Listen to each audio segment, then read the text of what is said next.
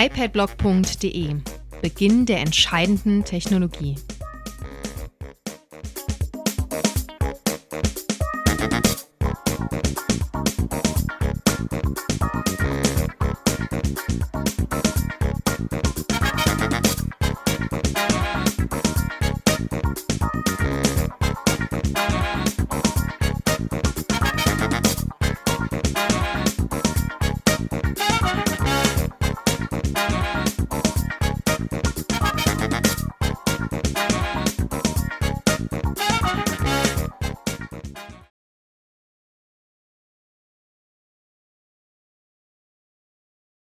Ja, hallo und herzlich willkommen, liebe Zuschauer beim zweiten iPad-Blog Get Together. Mein Name ist Raphael Schmanski und Mein Name ist Jens Schröder. und wir haben heute wieder einiges Spezielles vorbereitet. Wir gehen in ein Spezialthema ein und steigen in den Bereich der Medizin ein. Für viele ist es sehr spezifisch, aber was wir heute vorhaben, ist, wir haben einen Entwickler eingeladen. Ja, wir haben zum einen den Herrn Dr. Hein Reuter, der mit seiner App rund um das Thema homöopathische Medizin äh, neue Maßstäbe setzt. Äh, der hat seinen Entwickler mitgebracht und wir werden heute einfach mal mit ihm plaudern, wie sind die Hürden der App-Entwicklung, was für äh, ja, Hürden haben sich ihm aufgetan und was für Schritte muss man tun, um am Ende zum Erfolg zu kommen. Natürlich interessiert uns, wie er persönlich zu dem iPad gekommen ist, auch als Instrument später zu seiner Praxis und, wie gerade Jens auch schon richtig sagte, welche Hürden hat man bei der App-Entwicklung, was muss man beachten, wie kommt man vielleicht zu seiner eigenen App, alles das und viel mehr in dieser Sendung. Also seid gespannt und wer nicht dabei sein kann, der schaut sich das Video in voller Länge an. Bis später. Ja, und da sind wir im Studio hier im voluminösen Schuhkarton der Denkform GmbH. Wir genießen es am 25.11.2010 und ich habe natürlich heute wieder Besucher mitgebracht, Besucher und alte gute Freunde. Äh, an meiner Seite ist natürlich hier Jens Schröder von der Denkform GmbH. Hi Jens. Hallo Raphael. Alles klar? Bist du bereit? Wir sind da am Start und immer fit für alle Sachen. Das stimmt. Und natürlich auf der rechten Seite ist Herr Dr. Hein Reuter. Ihn werden wir heute als Hauptgast natürlich haben und euch in der ganzen Welt natürlich eine äh, erste, ja gut, erste kann man vielleicht nicht sagen, aber eine ähm, besondere App im Bereich Homöopathie vorstellen und wollen auch ein paar Hintergrundinformationen herausholen. Wie kam es dazu, A, dass er natürlich zum iPad gekommen ist, B, überhaupt eine eigene App zu entwickeln und natürlich C, last but not least, sie in seiner Praxis anzuwenden und wie nehmen das die Patienten auf. Alles das und viel mehr natürlich in der heutigen Episode. Für alle diejenigen, die heute hier bei uns im Studio sind, erstmal herzlich willkommen und natürlich alle an euren Monitoren oder mobilen Endgeräten im Vorfeld schon mal vielen Dank für den Download dieser Episode. Ähm, wir wollen natürlich dann damit auch die, das Jahr auch langsam auch beenden. Wir wollen auch, weil wir auch Weihnachten jetzt kurz davor haben, wollen wir auch natürlich äh, reinlegen. Hast du schon alle Geschenke besorgt oder machst du es wieder am 23.12.? Ich schenke nichts, ich lasse mich nur beschenken. Oh, ja, gut, das? Jawohl. Weihnachten war früher anders. Wenn man der Weihnachtsmann ist, sieht man das mit anderen Augen. Ja, Weihnachtsmann, oh, dieses Jahr den Auftrag haben sie angenommen? Jawohl. Ja. Dann, wenn die Order alle kommen, dann sieht man Weihnachten mit gemischten Gefühlen. Ohne Zweifel. Aber Weihnachten sollte man auch mit Geschenken tatsächlich verbringen. Ja, vor allem sollte man sich langsam beeilen, wenn man noch ein iPad unter den Tannenbaum legen möchte. Ähm, wir als Händler sehen das ja ein bisschen, wie die Lagerbestände immer knapper werden.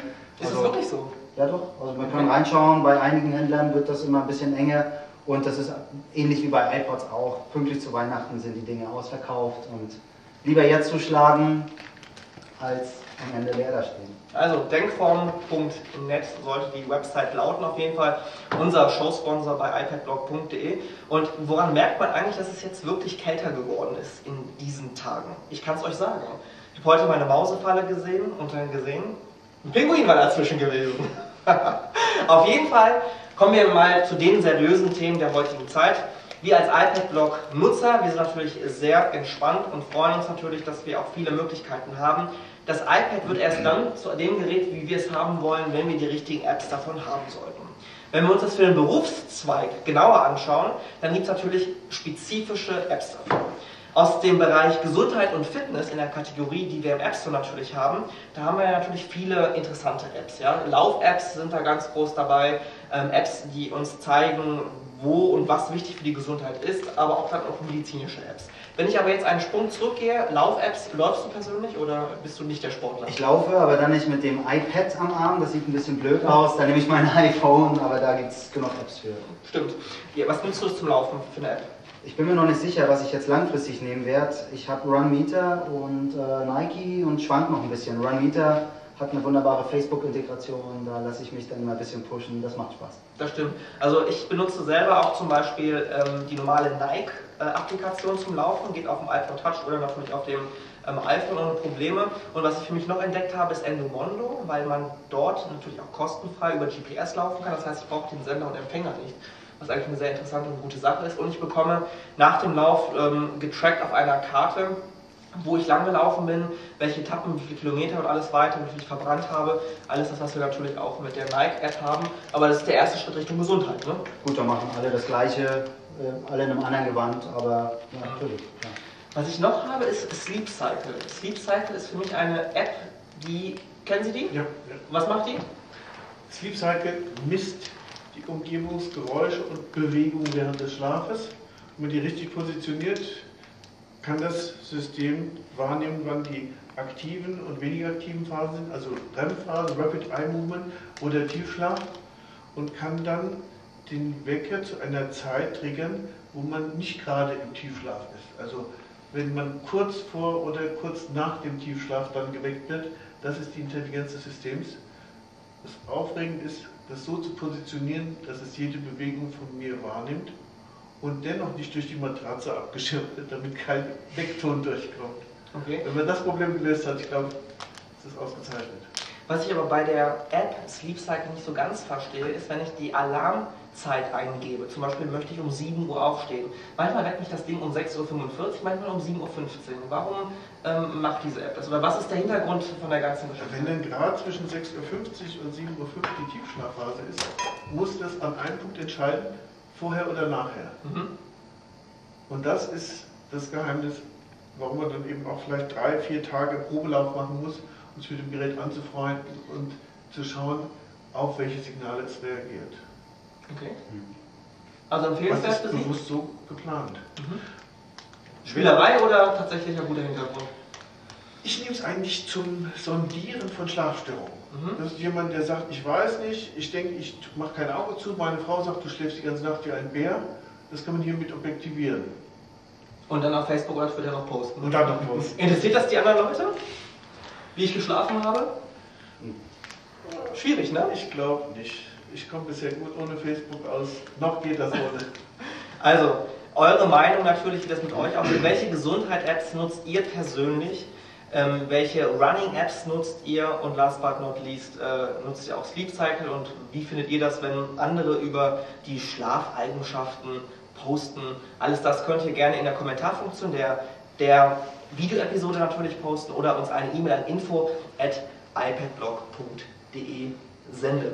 Aber unser heutiges Thema soll uns natürlich nicht ableiten davon, denn wir möchten heute das erste Mal im Bereich Medizin sprechen. Wir hatten eigentlich auch noch geplant gehabt, durch die Krankenhäuser zu ziehen und dort die Leute und die Ärzte mal zu fragen, wie ist der Anwendungsbereich, wie seht ihr das? Aber man muss sagen, die Jungs und die Damen sind echt ausgelastet, ja. Ohne Probleme ausgelastet, das heißt, die haben viel zu tun, die haben Schichten, die haben momentan nicht sehr viel Zeit dafür, wobei wir uns sicher sind, dass das iPad früher oder später auch in die Krankenhäuser Einzug gewinnen wird. Aber auf jeden Fall hat eines der iPads aus unserem Kreis Einzug in eine Praxis gefunden.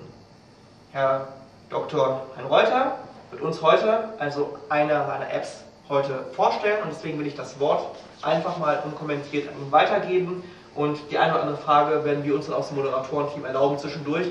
Deswegen vielleicht erst einmal an Sie. Ähm, anfangs, wie sind Sie an das iPad grundsätzlich herangekommen? Also ein Freund machte mich vor zwei Jahren aufmerksam auf das iPhone und sagte, da könnte man eine App dafür programmieren. Schau dir das doch mal an. Ich habe das iPhone gekauft, um eine App zu programmieren. Interessant. Hab gefragt, wer kann helfen, kann man das selber lernen? Wie viel muss man Informatik studiert haben? Ich habe mit einem tollen Entwickler gesprochen, der Hanno Welsch aus dem Saarland, ist Entwickler der ersten Stunde. Und waren wir auf einer Wellenlänge. War interessiert an Homöopathie, war interessiert an Medizin, die für Sportler ist, die eben auch nicht unter irgendwelchen Doping-Aspekten problematisch ist. Und das Spannende hier auch, er war nicht in der Homöopathie so weit drin, wie jemand, der das seit Jahren macht. Das heißt, diese typischen Fehler mit Maske, ich weiß, ich kann, ich bin, das ist doch alles klar, die werden hinterfragt von einem Gegenüber. Das verstehe ich nicht. Warum? Und dann haben wir komplett neu aufgesetzt, wie kann man das verstehen. Also zu meiner Person. Ich habe vor über 25 Jahren mit Homöopathie angefangen, habe Kurse gehalten für Patienten, aber auch für andere Berufsgruppen, Apotheker, Studenten. Aber die Patienten oder auch die Kinder, die eigenen Kinder und die Kinder, die als Patienten kamen, das waren immer die wichtigsten Testpiloten, um zu prüfen, kommt das an, was ich erkläre? Ist das verständlich? Also die Sprache des Betroffenen zu wählen, die Sprache des Patienten zu wählen, ist für mich ein wunderschöner, selbstverständlicher Aspekt in der Homöopathie. Auch wenn es hier manche wunderliche Formulierungen gibt. Also wir kamen auf die Idee, das, was auf dem PC schon lange üblich ist, Repertorisation mit homöopathischen Mitteln auf das iPad zu übertragen, weil es einen großen Datenspeicher hat, eine große Geschwindigkeit und auch der Bildschirm vom iPad ist dazu prädestiniert, Dinge im Vergleich, Dinge nebeneinander zu zeigen, die man für das iPhone genauso programmieren kann, aber das ist nicht die große Freude. Also was ist das Ziel jetzt Ihrer App? Kann ich damit ähm, Patientendaten aufnehmen, Rechnungen erstellen und gleichzeitig noch andere Dinge machen? Oder wofür ist der, das Haupt, der Hauptgrund und das Hauptziel von dieser App gekennzeichnet? iHome App ist ganz gezielt dafür gedacht, dass ein Mensch, sei es jetzt Patient, sei es Trainer im Sport oder ein Arzt, für eine bestimmte Situation eine passende Arznei wählt. Aber kein Praxisprogramm, keine Verwaltung von Patientendaten, sondern nur einzelne Sessions, einzelne Erkrankungen. Und eine Mutter wird ihre Kinder beim Vornamen reinschreiben, ein Arzt wird eine Patientennummer, Nachname, Vorname haben, ein anderer, der es für sich alleine verwendet als Sportler, der nimmt nur Schnupfen oder Husten und das Datum dazu, um sich zu erinnern, welche Session er hatte. Wer hat mehr Vorteile von der App? Der Arzt, der behandelt oder der Patient, der sich behandeln lässt? Oder vielleicht beides? Das Schöne ist, dass es einen Dialog ermöglicht. Beide begegnen sich auf derselben Ebene. Eine versteht, was der andere versteht. Und dadurch, dass man schriftlich arbeitet, ist es ein effektiveres Arbeiten als das mündliche, aber setzt natürlich Disziplin voraus. Wie reagieren einige Patienten, die in ihre Praxis kommen und sie mit dem iPad herummachen? Haben die Angst davor? Finden die das trendy? Ist das modern? Trauen die, also, trauen die ihnen mehr dadurch zu? Oder was kommen da für Ein Arzt, der mit dem iPhone selbstverständlich umgeht, ein Arzt, der eine App schreibt, hat natürlich einen Bonus. Ich ja. habe viele Patienten, die selber Informatiker sind, die selber in äh, PR-Firmen arbeiten und aktiv gute Kommunikation treiben, die bejahen das unbedingt. Aber wir sind uns einig, die Technik in der Praxis muss im Hintergrund laufen. Die muss selbstverständlich Arbeit abnehmen, damit das Gespräch möglich ist. Wenn man das Gespräch einsparen will und nur noch im Blog miteinander verkehrt, das ist keine Therapie. Wir unterscheiden also zwischen der Situation Home-App für Privatanwender, die das zu Hause für sich, für ihre Familie machen, oder aber in der Praxis, wo wir natürlich Riesenprogramme haben für mehrere tausend Euro mit Datenbanken, mit über 1500 Mitteln drin. Das würde man nicht auf dem iPad sich heute vorstellen. Aber Hausbesuch oder wenn ich im Urlaub unterwegs bin, wenn ich eine Sportbetreuung mache und habe äh, eine Veranstaltung mit 300 Sportlern irgendwo in einem Campinglager zu begleiten, dann ist das genau mein Tool. Ich habe eine Vorauswahl mit 60 oder 120 Medikamenten und sage, was ich hier mache, muss genau damit funktionieren und was nicht geht, da müssen wir eben Transport in eine Praxis oder in eine Klinik in Kauf nehmen. Wir wollen mehr von dieser App sehen. Bitte steigen wir ein, zeigen Sie uns einen Benutzercase.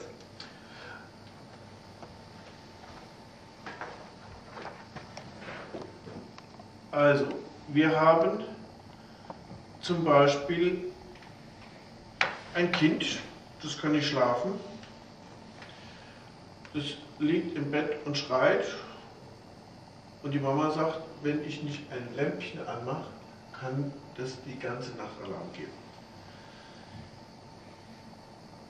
Jetzt würde das in homöopathischer Sprache heißen Angst, schlimmer im Dunkeln oder statt schlimmer haben wir jetzt Kürzel eingegeben wie AGG oder Aggravation auf Englisch. Dies kann ich hier in einer Datenbank suchen, die durch 60 verschiedene Arzneien geht. Medic ist die dritte Version mit 60 verschiedenen Medikamenten, die wir jetzt fertiggestellt haben. Hier kommen nicht mehr 60, sondern drei Arzneimittel in Frage. Wenn ich also unten auf die Leiste tippe, habe ich drei Mittel. Da wäre Carbo Vegetabilis, Pulsatilla oder Stramonium zur Auswahl. Hier würde man nicht lange rechnen und weiter nachschlagen, sondern man liest den Text und liest, das eine Kind weint leicht, ist furchtsam, unentschlossen, will sowieso nicht allein sein, schon am Abend, hat Angst vor Geistern und, und, und. Das ist was ganz anderes als jemand, der plötzlich einen Gedächtnisverlust hat. Es gibt auch Erwachsene, die solche Probleme haben, Erwachsene, die wir in der Psychiatrie sehen, die wir in der geschlossenen Anstalt sehen und oft ein Verhalten zeigen wie Kinder. Auch für diese kann man eine Arznei wählen.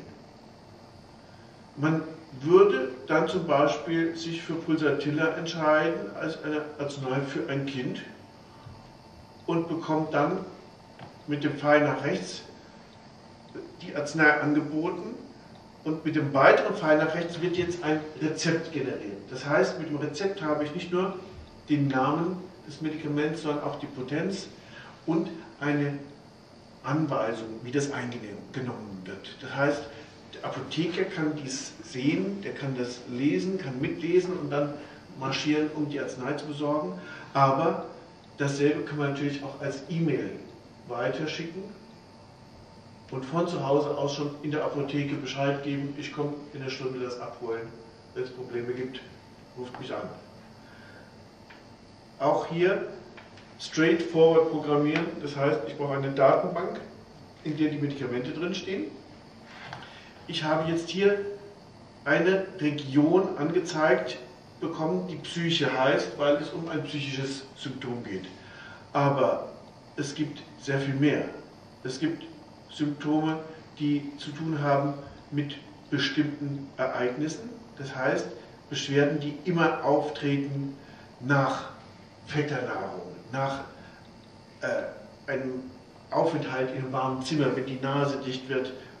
Viele Menschen, die jetzt klagen über Atemwegsprobleme, schimpfen auf das kalte Wetter, aber draußen ist es doch wieder besser. Also ich muss unterscheiden, ist es die Kälte, ist es die Wärme, ist es drinnen, ist es draußen. Diese Besonderheiten sind in der Homöopathie wertvoll. Für einen klinisch denkenden Arzt vollkommen egal. Der sagt, was ist das für ein Bakterium, was nehme ich für ein Antibiotikum, weg, nächster Patient bitte. Wenn wir uns Mühe geben und hineingehen in die Details, die eine Arznei an Besonderheiten zeigt, das heißt, eine homöopathische Arzneimittelprüfung widerspiegelt. Ich gebe einem Gesunden irgendetwas so lange, bis er davon krank wird. Und das schreibe ich mit. Wir geben das nicht den Patienten, wir geben das den Gesunden, den gesunden Medizinstudenten, den gesunden Kollegen. Das heißt, in der Homöopathie ist üblich, am eigenen Leib zu prüfen, zu leiden, bevor ein Patient kommt und sagt, ich habe Kopfschmerzen, die können Sie sich im Leben nicht vorstellen. Ich glaube doch. Also wir haben es zu tun mit einer Datenbank, die ähnlich ist wie Clicktel. Es gibt Telefonsuche, wo ich im deutschen Telefonbuch bei den gelben Seiten schaue und habe einen Namen und finde dazu eine Nummer. Bei Clicktel kann ich invers suchen, das heißt, ich habe eine Nummer und bekomme dazu einen Namen. Und genauso arbeiten wir mit den Daten vorwärts und rückwärts. Das, was der Patient uns schildert, suchen wir in dieser homöopathischen Datenbank. Umgekehrt, das, was ein Prüfling in einer homöopathischen Arzneimittelprüfung abbildet, das wird hineingeschrieben. Wir nutzen dieses System als Eingabemedium. Ich bin im Moment in einer neu gegründeten homöopathischen Wissenschaftsgesellschaft im Vorstand. Wir arbeiten an einer großen Online-Datenbank, die zunächst deutschlandweit, sprich in deutscher Sprache operiert und alle Daten einliest, die wir zur Homöopathie haben. Alle. Alle, die nicht unter Copyright stehen. Also alles von heute minus 70 Jahren. Ein Bibliothekar, den ich gefragt habe, wie weit seid ihr mit dem Einscannen? Naja, bis 1920 haben wir alles, bis 1950 fehlen noch ein paar Bände. Sag ich, was heißt alles? Wir lesen ein, alle Zeitschriften, alle Bücher, so wie sie kommen, mit einem Scanner, haben natürlich in der Zentralbibliothek ein anderes Programm zur Verfügung, das liest Sütterlin. Liest feine, uralte Schrift mit einer Fehlerquote von 1 oder 0,5 Prozent. Dieser gewonnene ASCII-Text wird jetzt über die PDF-Datei gelegt. Ich habe als Bild eine PDF und oben drüber einen durchsichtigen ASCII-Text, den ich abgreifen und kopieren kann. Und dem machen wir Volltextrecherche. Das schreit nach iPad und ist eine wissenschaftliche Anwendung. Das ist nicht nur ein Gimmick für Patienten oder unterwegs mal schnell zwischen 50 Mitteln schauen. Es geht um 1800 Mittel, es geht um 350 Veröffentlichungen in deutscher Sprache und die Inder, Amerikaner, Kanadier haben große Datenbanken in Englisch gleichzeitig. Da wollen wir eine Schnittstelle für das iPad natürlich haben. Aber wir sind uns einig, die erste Basis ist eine Akzeptanz auf Seiten des Patienten. Das heißt, es muss praktisch sein, man muss es verstehen können ohne langen Anlauf. Und wir haben vier Versionen, das heißt, es gibt Basic mit zehn Arzneimitteln, dann leuchtet hier unten zehn Arzneimittel auf und ich mache mich auch nicht verrückt und finde ein Mittel, was ich gar nicht in meiner Apotheke habe. Ist auch gescheit. Der nächste Schritt, ein erfahrener Patient nimmt die erweiterte Version mit 30 Arzneimitteln. Ich habe jetzt einen ganz anderen Pool, aus dem ich Arzneien auswählen kann. Sollte allerdings auch eine andere Kompetenz haben. Dann kann es sein, dass ich eine Frage dazu habe. Und dann gehe ich ins Dictionary. Im Dictionary haben wir englisch, deutsche Begriffe, die zum Teil medizinisch spezifisch sind, zum Teil aus alten Texten, die man nicht automatisch im Wörterbuch nachschlagen kann. Es sind jetzt ungefähr 1200 verschiedene Begriffe drin, die ich durch langjährige Übersetzertätigkeit gesammelt habe. Ein Patient möchte aber vielleicht auch wissen, was ist ein Allgemeinsymptom und geht dann hinein in eine Datenbank und bekommt Informationen, die in einem homöopathischen Basiswerk stehen. Grundsätzlich ist es möglich, sich in die Homöopathie einzuarbeiten, aber nicht wie in einem Schulbuch oder Lehrbuch, wo man von Seite 1 bis Seite 30 durchblättert, sondern wie in einem Lexikon, wo man sich von einem Begriff zum anderen durch Hyperlinks weiter hangelt. Das ist für meine Begriffe State of the Art von Informationstransfer. Wie viele Versionen gibt es insgesamt von Ihrer App? Vier Versionen sind geplant, drei davon existieren bereits. Wir sind jetzt seit zwei Monaten auf dem Markt mit der deutschen Version, haben circa 200 Apps verkauft. Das heißt, jeder, der eine App kauft, also sind fast zu 100 Prozent Personen, die eine halbe Stunde oder eine Stunde später die nächsten Module brauchen weil sie sagen, okay, ich komme damit klar, aber ich brauche mehr Arzneimittel. Das ist das, was sich bewährt hat, dass wir mit einem schlichten System anfangen. Jetzt über Weihnachten ist geplant 14 Tage kostenlos die Basic-Version. Ich war ein wenig mürrisch, als der Herr Welsch mit der Idee kam, wir machen alle Features in die Basic-Version, schalten alle frei, damit man von Anfang an Volltextrecherche nutzen kann und auch schauen kann, was ist in der Datenbank drin. Natürlich hat man dann Hunger nach mehr. Die Doc-Version mit über 120 Arzneimitteln wird einen Menschen in die Lage versetzen, wirklich auch schwierigere und komplexe Situationen zumindest homöopathisch sauber aufzunehmen, um dann zu entscheiden, kann ich das in dieser Umgebung oder brauchen wir eine Krankenhauseinweisung muss das ein Facharzt sehen. Also an dem Punkt braucht man allerdings eine komplette Ausbildung, weil es nicht reicht, wenn ein Patient zwei, drei Daten eingibt. Man muss weiter ins Detail gehen und wir können zum Beispiel bei einem Krankheitsbildern beschreiben, was ist passiert. Es hat ein Mensch Schwindel. Woher kommt der Schwindel? Also ich tippe hier jetzt mal auf Schwindel und er sagt, naja, also ich weiß nicht genau, aber es könnte zusammenhängen mit drei oder vier Glas Bier an dem einen Abend. Ich weiß nicht, also davor hatte ich keinen Schwindel.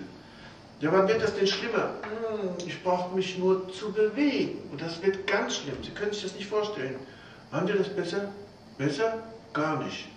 Da, da muss ich warten. Also, wenn ich Glück habe, nach einem halben Tag, gibt es noch irgendwas? Ja, ich, ich zitter dann immer so.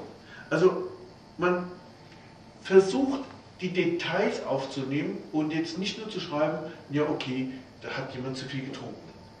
Wenn ich mich jetzt mit 30 Arzneimitteln hier dran mache, kommen als Antwort zwei mögliche Medikamente. Das eine ist Arsenicum album, das andere Luxomica. Spannend. Ein wunderschöner Einstieg in Homöopathie, wenn man von nichts eine Ahnung hat, an nichts glaubt oder glauben will und sagt, ich hätte jetzt mal vier Glas Bier getrunken und hätte Kopfschmerzen. Was würde mir helfen? Luxomica hilft recht zuverlässig. Luxomica C6 für kleine Bier, C30, wenn das Bier ein wenig größer war. Aber es gibt auch Leute, die mögen kein Bier. Die Zustimmung bei Zuschauern. die trinken lieber bierfreien Alkohol, also Wein. Bei Wein ist spannend. Hilft das Luxomica manchmal und manchmal gar nicht. Und dann brauchen wir aber Medikamente wie Arsen, Arsenicum album. Arsenicum album, das hat man früher der Schwiegermutter gegeben. Sie starb ganz langsam mit wunderschönem glatten Haar. Keiner kam drauf, wer das war.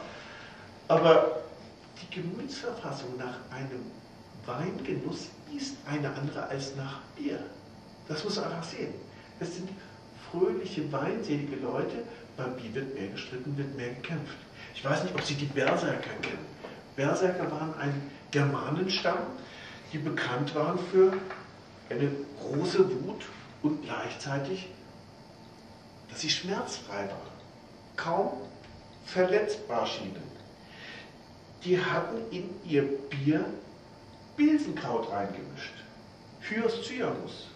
Hyoscyamus ist ein Verwandter mit der Belladonna, der Tollkirsche, macht große, weite Augen, einen roten Kopf und das Gefühl, unbesiegbar zu sein. Wenn diese Menschen laufen, das Gefühl haben, unbesiegbar zu sein und schlagen, ohne selber Schmerzen zu haben, das sind Berserker. Vor denen läuft man einfach so schnell man kann weg und wird sich nicht mit denen anlegen. Wenn ich jemanden in einem Rausch- oder Wutzustand habe, der dadurch auffällt, dass er gleichzeitig kaum Schmerzen hat, blutet, sich verletzt und das nicht wahrnimmt, der bekommt dann Hyoscyamus. Also wunderschön, wie in der Homöopathie nicht nur ein Alkohol-Blutspiegel zu einer bestimmten Diagnose führt, sondern das Wesen eines Menschen. Der eine schläft ein, wenn es ein Glas zu viel war, der andere direkt ist richtig auf. Hier ist klar, wenn ich mit 1800 Arzneimitteln anfange zu wählen, dann kommen 50, 60, 70 denkbare heraus. Das macht keinen Sinn. In einer Praxis ist es üblich, dass ein erfahrener Arzt mit einem Pool von Daten, einem Pool von in Frage kommenden Diagnosen arbeitet, wenn ein Mensch hineinkommt und humpelt, hineinkommt, Kopfschmerzen hat. Der arbeitet nicht mit 1800 denkbaren Erkrankungen, sondern mit 12 oder 20 oder 8. Das nennen wir Szenario. Das heißt, in der fortgeschrittenen Version haben wir ein Szenario Sportunfälle, ein Szenario Narkosezwischenfälle, da wird von vornherein ausgeklammert eine Arznei, die gut gegen Husten oder Schnupfen oder Haarausfall ist. Und man kümmert sich nur noch um die relevanten Themen. Damit ist es möglich, auch bei schwerwiegenden Erkrankungen sauber wissenschaftlich zu arbeiten und nicht nur mit einem kleinen Datenpool Versuche zu machen. Steht in der App auch drin, was man erreichen kann, mit welchen Medikamenten? Ich denke da zum Beispiel, ob man auch so eine App benutzen kann, um ja, gut, sie zu missbrauchen, um Medikamente zu missbrauchen. Ich ja. denke da auch an süchtige Leute oder ähnliches mehr. Also wir haben eine ausführliche Einführung als PDF, die man in Ruhe durchlesen sollte, um einfach auch verantwortlich damit umzugehen. ich sage ganz klar, wer mit den zehn Basismitteln und in der C6 arbeitet, kann eigentlich nicht viel verkehrt machen. Im übelsten Fall nimmt er ein Mittel lange, was verkehrt ist und kriegt davon Übelkeit oder Kopfschmerz, hört wieder auf und das Thema ist erledigt.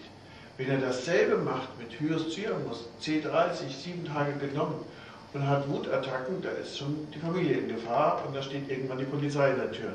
Aber das müsste man wirklich mutwillig machen. Ich halte das nicht für eine Gefahr, die mit der App verbunden ist, sondern wenn das frei verkäufliche Arzneimittel sind, kann jeder beliebige sich das kaufen und einnehmen, was er möchte. Gut, das hört sich ganz gut an. Noch ein paar Fragen vielleicht von deiner Seite noch? Ja, für mich ist dann auch recht spannend ähm, App-Programmierung einerseits. Sie haben viel erzählt, wie das grundsätzlich funktioniert, was alles drinsteckt. Aber mich interessiert der Weg, wie kommt es denn von der Idee zur App bis zum fertigen Download überhaupt im iTunes Store? Was gibt es da für Hürden? Also wo, wo sind die Schwierigkeiten aufgetreten? Also wir haben als Vorlaufzeit ungefähr acht Monate gebraucht. Weihnachten 2009 war die Idee geboren. Zwischen den Jahren fingen wir an und jetzt sind wir seit zwei Monaten auf dem Markt. Aber da gab es noch gar kein iPad. Damals haben wir für iPhone programmiert und in dem Moment, wo das iPad kam, sind wir gleich zweispurig weitergefahren. Dann gibt es ein Genehmigungsverfahren von Apple, was ungefähr drei Wochen dauert, wo man die komplette App hinschickt und die dann geprüft wird, einmal auf Sinträchtigkeit, auf Stabilität und dann darf man diese ins Netz stellen. Auch die Preispolitik, was wie viel kostet, in welchem Land wie viel kostet, ob es In-App-Purchase gibt oder Zusatzmodule, muss klar formuliert werden und darf nicht irgendwie mit vielleicht angeboten werden. Also Apple hat relativ klare Strukturen, die man einhalten muss. Dann haben wir Folgendes gemacht. Wir haben getrennt die App von den Daten. Das heißt, wenn ich ein Update der App vornehme, was eben drei Wochen Vorlauf bei Apple kostet, dann kommt in dem Programm des Apple Stores das Angebot, es gibt ein Update zu ihrer Software und ich lade das aktiv. Etwas vollkommen anderes ist, wenn wir Daten aktualisieren. Die Daten gebe ich als UTF-8 kodiert an den Entwickler, der sie in der SQL-Datenbank schiebt und in dem Moment, wo die abgedatet werden, bekommt der User, der das Programm benutzt, ein Angebot, es gibt neue Datenbanken, wollen Sie die jetzt laden? Beim Öffnen der App. Beim Öffnen der App. Und die sind instant drin, also auch große Datenbanken mit, ich habe 3500 Datensätze drin, sind also sofort zur Verfügung und brauchen keine lange Zeit. Ich fasse die Daten an mit FileMaker, habe die Originaldatenbanken alle in FileMaker Pro Advanced zur Benutzung, exportiere sie und bearbeite sie dann eben mit einem großen Datenbankentool, um sicherzustellen, dass keine verkehrten Steuerzeichen drin sind. Aber wir verabreden ein Exportformat und dann bleiben die Daten auf SQL liegen und stehen blitzschnell zur Verfügung. Das hört sich gut an. Wie viel MB hat diese App? Dreieinhalb. Dreieinhalb. Mit so einer Datenbank. Aber sie wächst noch, die Datenbank, ist das richtig? Jawohl, das hat jetzt ungefähr die Hälfte der Daten in deutscher Sprache drin.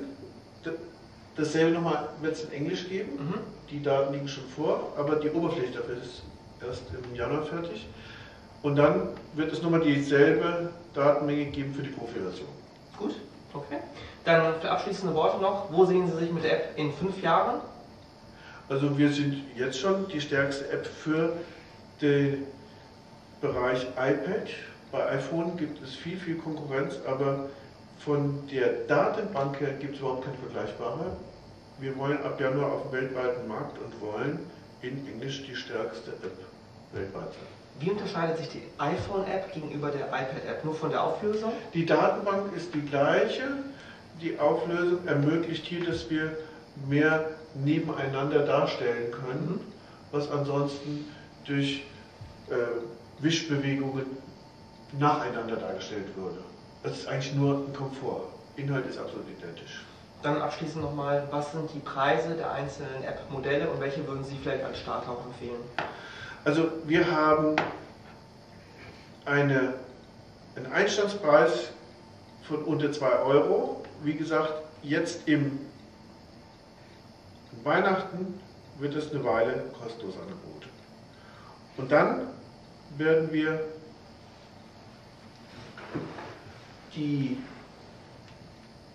Basic App kostenlos und als Zusatz-Apps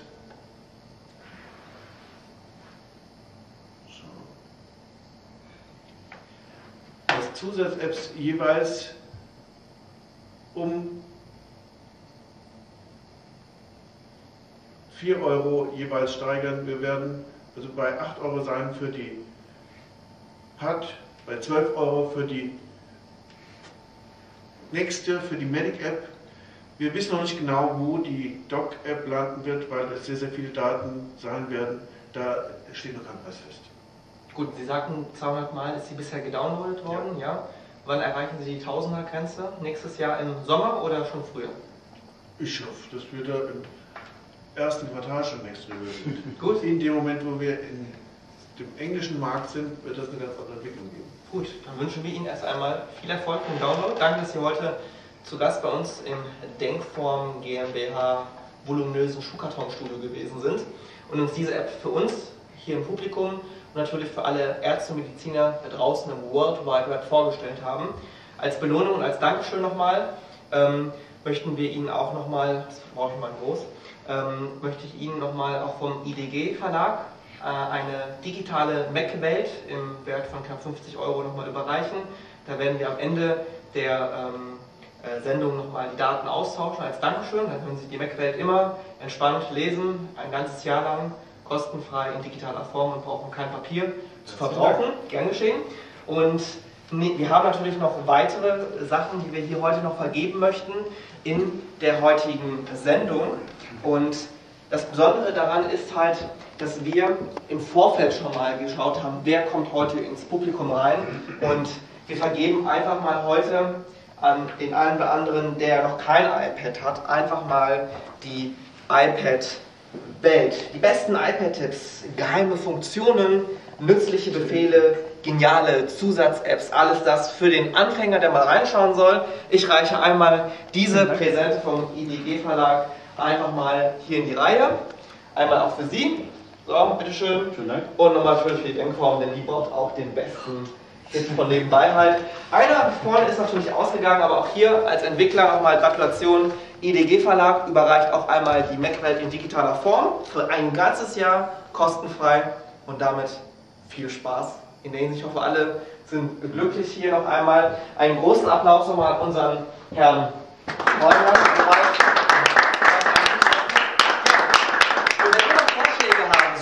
für den iPad-Blog Get Together, sei es Location oder sei es weitere Themen. Wir haben natürlich unzählige Ideen, aber wir wollen euch natürlich in dieser Community interaktiv werden lassen. Dann schreibt uns info at ipadblog.de oder nutzt die Kommentarfunktion unten bei diesem Post. Wir haben natürlich auch einen Social Media Kanal, genau sogar zwei, einmal auf Twitter, ebenfalls mit iPad-Blog und natürlich in der Facebook-Gruppe. Und für alle, die ein bisschen businessorientierter sind, die laden wir natürlich auch in die Xing-Gruppe ein, iPad-Blog Fachforum. Da ist auf jeden Fall nochmal ein bisschen Platz für Quantität. Das heißt, ihr als Entwickler, ihr als ähm, Personalberater, ähm, ihr als jemand, der mit dem iPad auch businesstechnisch zu tun habt, ihr seid da auf jeden Fall richtig ähm, ja, aufgehoben und könnt euch da auch bewerben. Ich werde einfach mal ein Auge zudrücken und die nächsten, in den nächsten 24 Stunden bewerben, einfach mal so durchjagen. Aber danach schaue ich ganz genau rein. Also macht nichts Falsches. Ja, ansonsten ja, bedanke ich mich nochmal an den Showsponsor Denkform GmbH. Nicht vergessen, Weihnachten steht vor der Tür. Mehr muss ich nicht an dieser Stelle sagen. Denkform.net ist diese Webseite. Haben Sie auch eine Webseite, wo wir mal uns weitere Informationen, die heute diese Sendung so toll fanden, nochmal rausschauen könnten? www.heinreuter.de ist meine Praxis-Homepage. Und da sind auch Links zu anderen Details. Ja, das auf jeden Fall noch in den Show Notes. Außerdem die Praxis Fahrhumann in Düsseldorf, praxisfahrhumann.de ist ebenfalls mit dabei gewesen. Ja, und alle diejenigen, die heute nicht dabei sein konnten, Schade, aber es wird nächstes Jahr wieder eine Möglichkeit geben. Also seid dabei, wenn es heißt ipadblog.de, präsentiert von Denkform. Vielen Dank fürs Zuschauen, bis zum nächsten Mal und ich entlasse euch jetzt eine wunderschöne vorweihnachtliche Zeit. Danke an das Publikum, bis zum nächsten Mal. Raphael Schimanski Und Jens Schröder von der Denkform. bis dann. Tschüss. Ciao. Ja, spannend.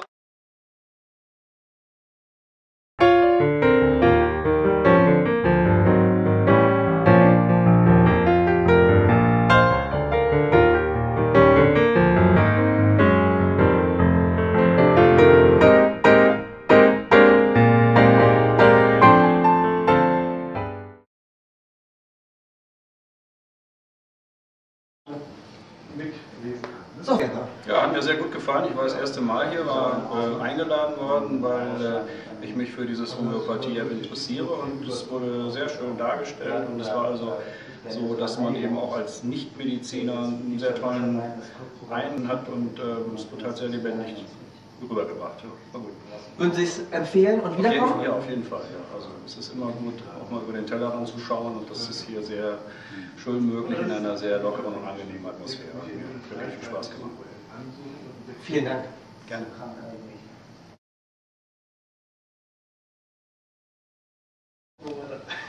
Herr Doktor, das erste Mal als Gastsprecher beim iPad-Blog. Ich hoffe, Sie haben sich wohlgefühlt. Hat es Ihnen gefallen?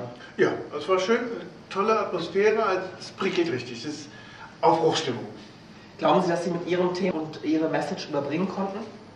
Also ich bin die Sachen losgeworden, die mir auf der Seele gelegen haben und die Fragen waren natürlich auch schon, waren Herausforderungen, auf den Punkt zu kommen. Empfehlen Sie den iPad-Blog Get Together Stammtisch auch weiter? Ja, unbedingt. Also, was wollen wir mehr sagen? Vielen Dank. Gerne.